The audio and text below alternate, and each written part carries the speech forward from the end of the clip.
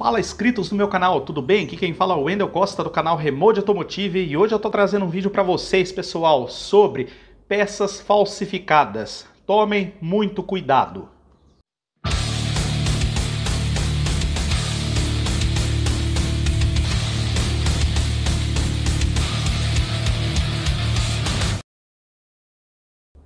Vamos começar agora nosso vídeo sem enrolação. Pessoal, o canal está começando agora, deixa aquele like, se inscreve no nosso canal que vai ter bastante conteúdo bom aí para vocês.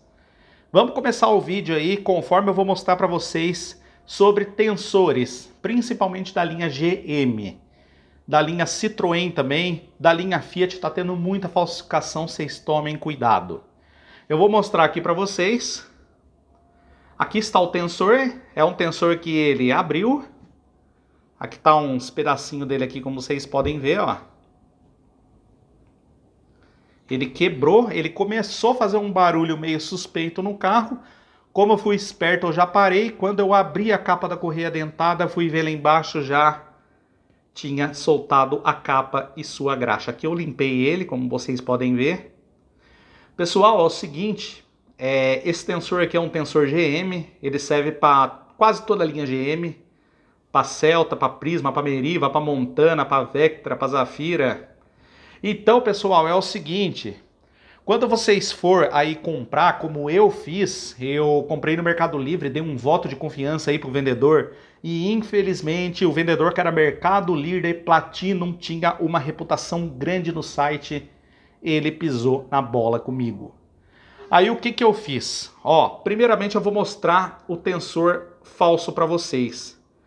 Aqui ele tinha um retentor preto, ele é verde, preto. Aqui está escrito itens. Aqui tem a sua referência aqui, né, como vocês estão vendo, Brasil, tudo. Porém, pessoal, o tensor original GM, ele é totalmente diferente desse. Esse daqui foi vendido como genuíno 100% GM. O GM, eu vou deixar a foto aí para vocês, como vocês estão vendo aí, ele tem aí o retentor azul, ele é azul e sem contar ainda que eu fui até uma concessionária GM quando isso aqui deu problema com a nota e lá foi constatado que a peça era falsificada. Então, pessoal, é o seguinte, como vocês estão vendo a foto aí da GM agora, vocês acabaram de constar aí a diferença das duas peças. Eu vou colocar uma foto desse tensor aqui paralelo com a capa para vocês identificar os dois um lado a lado para vocês poder identificar. Ele, ele rodou mais ou menos uns 300 km até estourar. Sorte que ele começou a fazer um barulhinho, eu já parei, o carro já dei uma olhada e chequei. E o interessante de tudo, ó, é que ele tá firme. Ó. Tá fazendo um barulhinho, mas ele tá firme, ó. Ou seja, se eu deixasse mais um pouco no meu carro, a hora que acabasse a graxa aqui, aí ia terminar de torrar tudo, podia atropelar a válvula. Então, pessoal, cuidado com peça falsificada. Toda vez que você for comprar no Mercado Livre uma peça, leve até uma concessionária mais próxima para ver se realmente ela é original mesmo ou não. Sabe por que eu falo isso para vocês? Porque, olha, infelizmente, eu tive esse azar. E eu liguei lá no vendedor e o vendedor falou para mim que era uma linha da GM importada, que não tinha o logotipo da GM e era uma linha da GM importada. Eu falei, mas seu moço, na caixa do produto, conforme eu vou colocar a foto aí para vocês, inclusive eu vou deixar aí o link do vídeo que eu avaliei esse tensor como original e como já faz alguns anos que eu não possuo GM, infelizmente eu comprei na inocência e caí eu que mexo com peças há quase 13 anos, eu caí numa besteira dessa. Então, pessoal, eu vou deixar a foto aí da caixinha do vendedor indicando o CNPJ que esse produto foi feito pela Litens do Brasil. Mas aqui, como vocês podem ver, deixa eu focar aqui para vocês verem. Aqui já está escrito Brasil, como vocês podem ver, ó. Olha lá, Brasil. Então, o vendedor falou para mim que é uma linha importada da GM. Eu falei, senhor vendedor, é o seguinte, eu tô aqui na GM.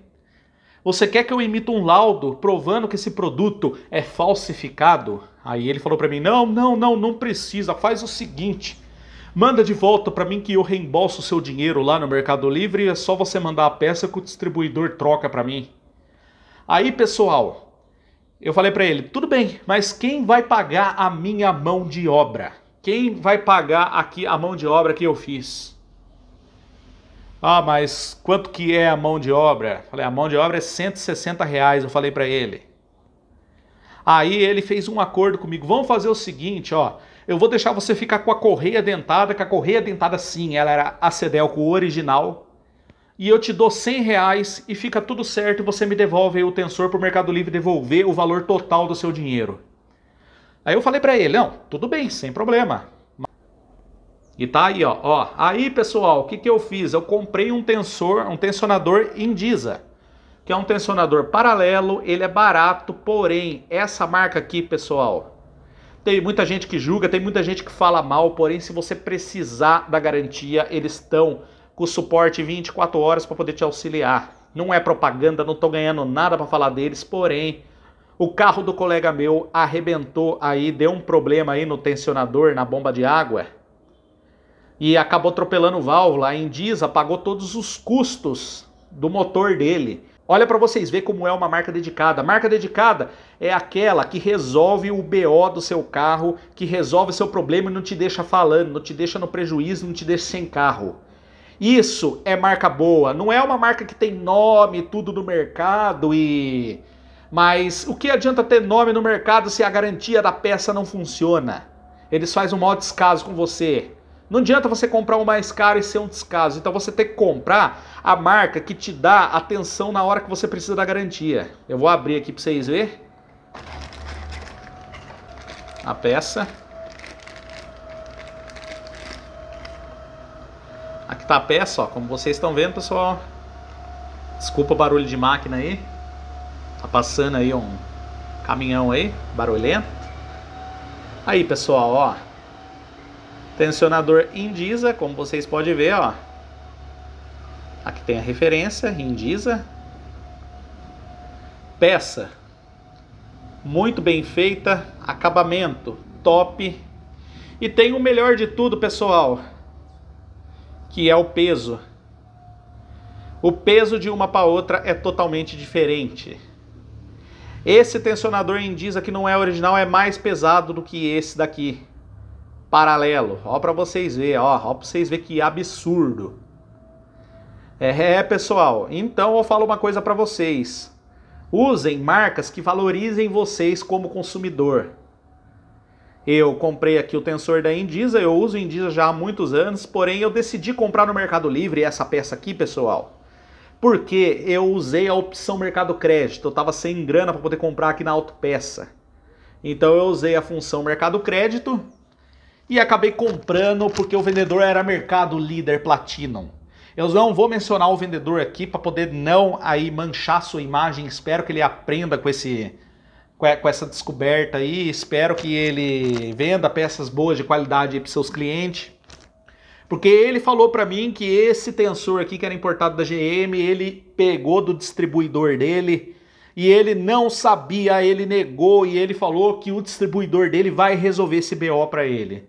Pessoal, eu, eu, eu, eu custo acreditar nisso, mas eu quero acreditar nisso, porque se for mesmo, que ele mude de distribuidor e que ele arrume um distribuidor que forneça peças originais para ele, se ele quiser continuar ainda vendendo peças genuínas.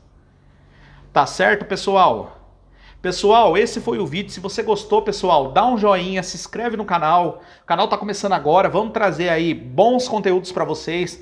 Cuidado com peças falsificadas, inclusive da linha GM, da linha Citroën, da linha Peugeot.